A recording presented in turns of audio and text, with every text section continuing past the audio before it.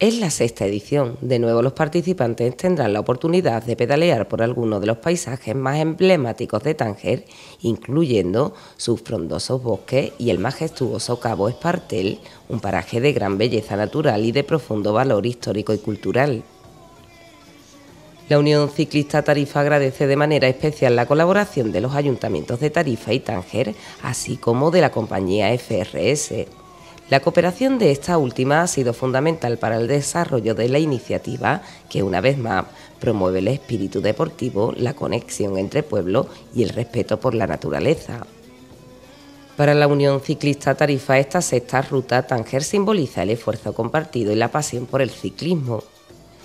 Instituciones y empresas locales colaboran en el desarrollo de este evento que une culturas y fomenta el intercambio y la aventura sobre dos ruedas.